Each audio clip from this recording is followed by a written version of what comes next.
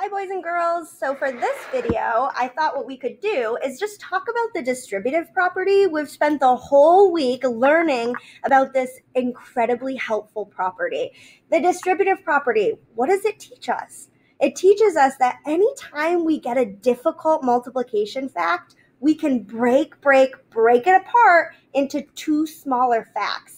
Now, what we've done this week it was we've really thought about that in terms of using an array. So, my first problem here's a problem here. Let's do an example together. Four times three.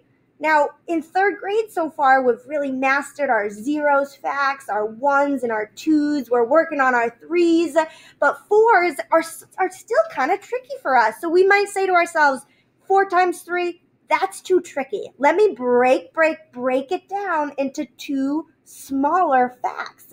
Now, you want to ask yourself is it more reasonable to break apart the four, the number of rows, or to break apart the three, the number of columns? I kind of want to break apart the four into two smaller numbers. So I could take that four and I could think of it more as two plus two. And I could take my array and, and say, instead of having four rows of three, I could break it in half and I could have two rows of three plus two rows of three. Now I love this problem because I know how to multiply by two. When you multiply by two, you just double the other number. What's three plus three? Six, and same goes down here. So four groups of three is the same thing as two groups of three plus two groups of three. And now when we write the equation, you've got to write the whole thing back out again. So watch this. Four rows of three is equal to, now remember, you've got to keep your two new equations totally separate. Two groups of three plus two groups of three. And we said that two times three was six, and that two times three was six. So that means that four times three must be 12. If you get a difficult problem, don't panic break it apart into two smaller problems that you know how to work with. Let's do another example. I'm going to clear my board. Let's see. Put these to the side. Clear my board. Let's say we're working with the problem. Hmm. Let's say six uh, times five. I love the number five, and I love multiplying by the number five because, hey, skip counting by five is easy peasy. We know how to do that since like the first grade.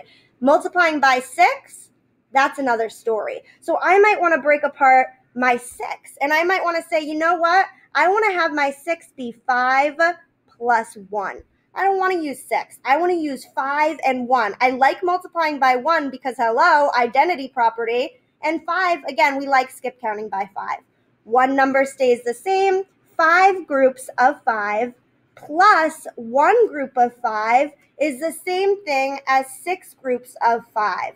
So let's look at that now. 5 times 5. Skip count by 5 5 times. 5, 10, 15, 20, 25. One group of 5. 5. Five's looking in a mirror, sees its own reflection. 25 plus 5, well, that's 30. So 6 times 5 must be 30. Let's do another one one more. This is going to be our last example. And then I'm going to have you use a Jamboard to show me how much you've learned. So here's my next example. It doesn't always have to be the first number that gets broken up. It could be the second number. So let's look here. How about we do 3 times 7? In this case, Eh, I'm going to work with the three. I don't love it, but I'm going to work with it. The seven, I've really got to break apart that seven. I don't feel confident to work with that seven. So instead, I'm going to break it down into how about five and two? Because two, you just double, and five, you can skip count. Now bring the other number down.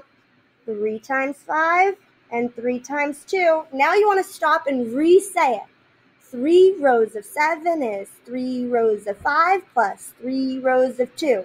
Or three groups of seven is three groups of five plus three groups of two. Now you can just solve your two smaller equations and add them back together to get the big one. 3 times 5, 5, 10, 15.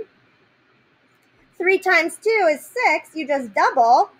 So that must mean that 3 times 7 is 21. You got to add them back together, right? And you group the 1, 21. Okay, now boys and girls, I've done three examples with you.